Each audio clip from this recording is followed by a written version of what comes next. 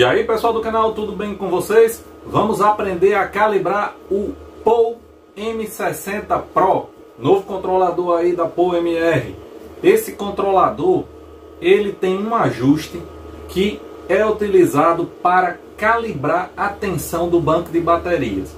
Você pluga o seu controlador no banco de baterias e normalmente você pensa, não, vou ajustar ele aqui, por exemplo, num banco de 12 volts vai ajustar aqui na tensão de recarga de 14.4. E aí você pega o multímetro ou um voltímetro comum e vai verificar a tensão e não está mandando aquele 14.4. E um dos motivos que dá essa diferença de tensão é que nesse novo aparelho ele possui uma função para calibrar a tensão real do banco de baterias com a tensão do controlador. E através desse ajuste você vai enviar fielmente a tensão regulada aqui na saída dele para o banco. Isso impede alguns problemas que o pessoal tem aí com esse controlador no seu sistema de energia solar off-grid. Imagine que ele medindo uma determinada tensão no banco de baterias, verificou que está naquela tensão ali, de repente vou retornar já à flutuação depois de um tempo. Isso sem atingir a tensão correta.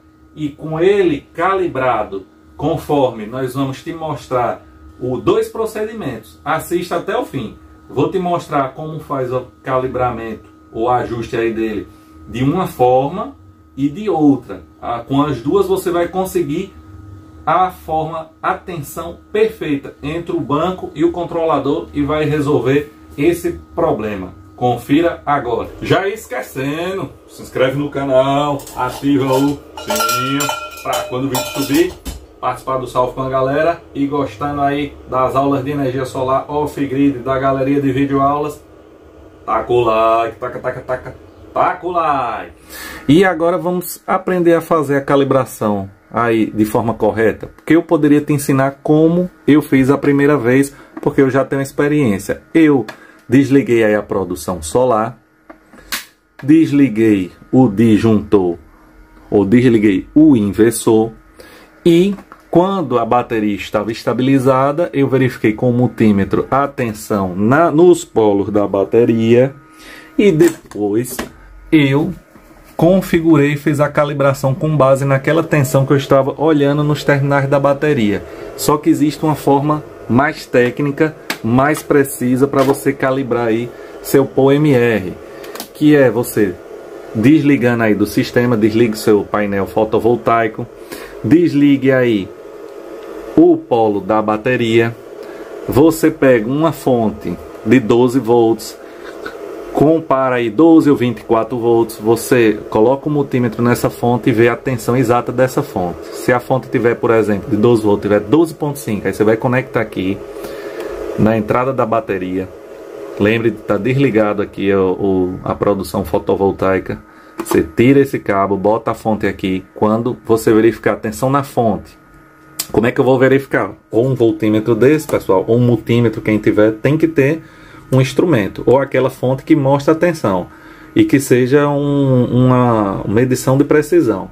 Você vai conectar essa fonte aqui, ó, e ele vai mostrar a tensão aqui no painel, como se fosse do banco de baterias. Aí você vai vir aqui em calibrar, vai segurar um pouquinho.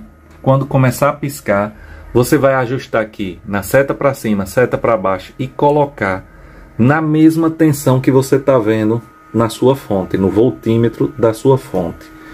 Você fez isso, ele vai bater certinho, vai ficar calibrado a tensão do controlador com a da bateria, que é isso aqui, e vai começar a mandar. Quando você configurar 14.4, ele vai estar tá medindo aqui 14.4, vai estar tá nos voltímetros de sua bateria 14.4. Isso, lógico, pessoal, sem consumo, né?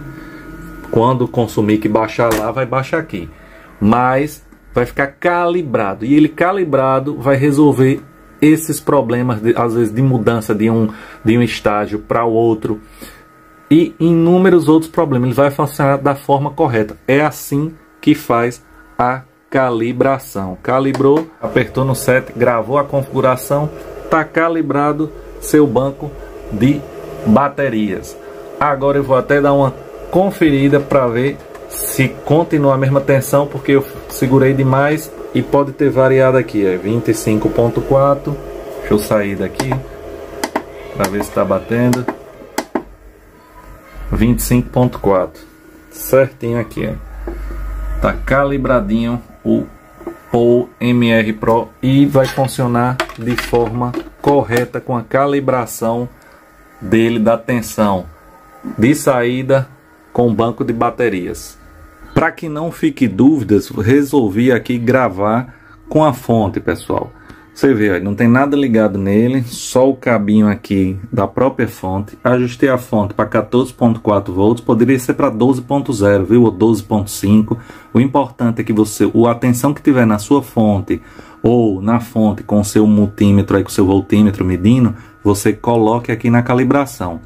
Antes de tirei lá do sistema e botei para cá, eu resetei ele, ele voltou às configurações de fábrica para voltar a mesma diferença de tensão. Veja, ele está mostrando 14.4 e está fazendo a leitura como se tivesse 14.6. Ou seja, se eu tivesse configurado aqui ele para 14.6 volt, ele só iria estar tá mandando 14.4. Pronto. Aqui ele está com a diferença de tensão. O que, é que a gente vai fazer? Vamos calibrar que nem o procedimento do vídeo. Fui aqui, é, cheguei aqui em calibrar, ele vai mostrar a tensão que ele está lendo, ele está lendo 14.6, onde é 14.4. E aí a gente vai segurar. Quando começar a piscar, a gente vai ajustar a tensão real. 14.4, apertou no 7, tá gravado. Gravou aí, já pode sair. Já pode sair aí, é. E aí ele já começou a fazer a leitura correto. POU MR novo. POU MR ou POU M60 Pro calibrado utilizando uma fonte que tenha o voltímetro ou uma fonte que você esteja utilizando um multímetro ou qualquer outra é, forma de aferição para poder comparar, colocar a tensão que está aqui aqui nele para bater certinho, entendeu? Chegou, chegou, chegou meu povo! Pois é, ontem mesmo um amigo inscrito no canal perguntou, Tarcísio, essa função aí C não sei o que do POMR. Eu tinha colocado esse vídeo de ajuste aí, fazer o calibramento, para calibrar ele no canal reserva, eu digo, vou trazer o canal principal para todos os amigos inscritos. Lá como nem todo mundo acessou, então vamos trazer aí a dica para todos os amigos inscritos do canal principal. Agora, vamos ver quem foi os seis primeiros que chegaram ligeiro, quem foi o primeiro a mata. No vídeo anterior, passa aí aqui nesse salve. Olha ele, olha ele, nosso amigo Sérgio Ferreira lá de Tribobó, São Gonçalo, Rio de Janeiro.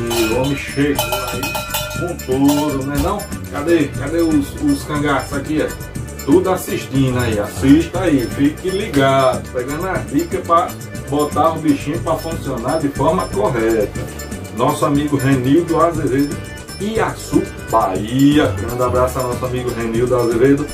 Nosso amigo Francisco Souza de São Luís, no Maranhão também. Que deu seu salve, salve garantido. Nosso amigo Claudemir Souza Silva, Teodoro Sampaio, lá em São Paulo. Grande abraço, amiga. Uma badalada aí amigo. Nosso amigo Lúcio Guedes de Mesquita. E nosso amigo Beto César aí também garantiu seu salve. Beto César de onde? Canoas, Rio Grande do Sul. Grande abraço. Continua pegando as dicas no canal para deixar o sistema alinhadinho. Muitas vezes o que falta é os ajustes da forma correta. Às vezes a gente descobre um aparelho Olha, esse aparelho, como esse novo POMR, não funciona bem com alta tensão. Então, faz a associação para reduzir a tensão da string, trabalhar com mais corrente e aí resolver alguns problemas que ele apresentou com a tensão muito elevada. Beleza?